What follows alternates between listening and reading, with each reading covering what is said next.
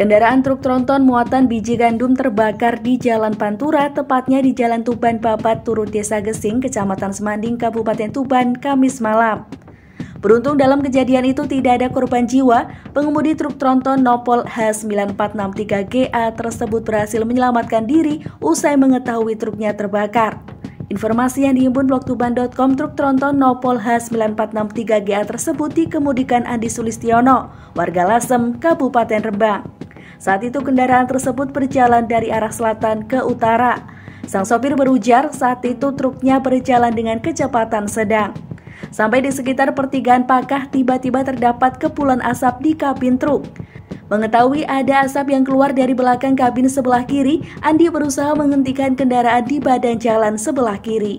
Namun api dengan cepat membesar dan menghanguskan bagian kabin truk tronton itu hingga tinggal rangkanya saja. Selanjutnya, petugas kepolisian menghubungi PMK Tuban untuk memadamkan api yang sudah membesar. Api pun berhasil dipadamkan dalam waktu yang tidak lama. Akibat kendaraan itu, arus lalu lintas di jalur Pantura Tuban sempat mengalami sedikit kemacetan karena menunggu proses pemadaman. Hingga kini, sang sopir belum mengetahui penyebab kebakaran. Dari Tuban, Tim Liputan Blog Tuban TV melaporkan.